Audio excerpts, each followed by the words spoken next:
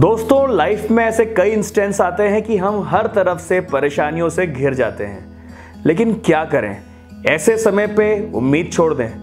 क्या ऐसे समय पे जीना छोड़ दें? क्या ऐसे समय पे कुछ मेहनत करके परेशानियों से लड़ना छोड़ दें? शायद नहीं। क्या करना चाहिए, ये आप डिसाइड करिएगा। लेकिन इससे पहले मेरी एक छोटी सी कहानी सुन लीजिए। दोस्तों, एक जंगल में एक हिरणी थी। वो हिरणी प्रेग्नेंट थी। उसके पेट में बच्चा था। लेकिन अचानक से बिजली कड़कती है और उस जंगल में आग पकड़ लेती है। बहुत बड़ी आग, भीषण आग रहती है, जिससे उस हिरणी का घर तबाह हो जाता है। हिरणी अपनी जान बचाते हुए भागती है। हिरणी घबरा जाती है क्योंकि उसके पेट में बच्चा था और उसको वो अपने घर में जन्म देने वाली थी। लेकिन उसका घर, उसका जंगल पूरा आग की लपटों में आ चुका था। बहुत देर दौड़ने के बाद उसको प्यास लगती है। पास में एक तालाब था। वो तालाब के पास जाती है। तालाब में पानी पी ही रही थी कि उसने पीछे झाड़ियों में कुछ आहट सुनी। पीछे पलट के देखा तो एक शिकारी था और वो तीर बाण लेके हिरणी की तरफ़ घात लगा के बैठा हुआ था। हिरणी घबरा गई कि पहले तो मेरे पेट में बच्चा है।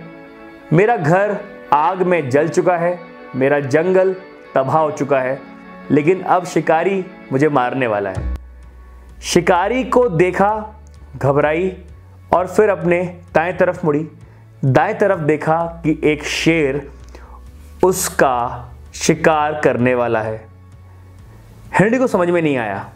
पीछे जंगल खत्म, घर खत्म, एक तरफ़ शेर बैठा है शिकार करने के लिए और दूसरी तरफ़ तीर बाण लिए घात लगाकर एक शिकारी खड़ा हुआ है। अब सामने बचती है नदी। अब नदी में कूद नहीं सकते क्योंकि नदी गहरी है और नदी में मगरमच्छ भी है। मतलब हर तरफ़ मौत ही मौत। क्या करे? अब करना क्या चाहिए? दोस्तों, आप भी अपनी लाइफ में कई बार परेशानियों से घिर जाते हैं। कई बार कुछ सॉल्यूशन नहीं मिलता। रातों की नींदें उड़ जाती हैं। उस समय क्या करना चाहिए? उस समय वही करना चाहिए जो इस कहानी में हिरणी ने किया। हिरणी ने सोचा, अब परेशानियाँ तो हर तरफ़ हैं ही। हिरणी ने हँसते हुए, मुस्कुराते हुए पानी पीना शुरू किया। हिरणी ने पानी पीना शुरू किया। शिकारी ने अपना तीर हिरणी की तरफ़ तान दिया। निशाना साध लिया। अब वो मारने ही वाला था। और उतने में शेर भी हिरणी की तरफ़ कूद गया। ढेर सारी परेशानियाँ थी, लेकिन ईश्वर देख रहा था। ईश्वर ने हिरणी और हिरणी के बच्चे की जान बचाने के लिए बिजली ज़ोर से कड़का दी। जैसे ही बिजली ज़ोर से चमकी, शिकारी का हाथ हल्का सा कपकपाया और उसका तीर हिरणी की जगह गलती से शेर को लग गया।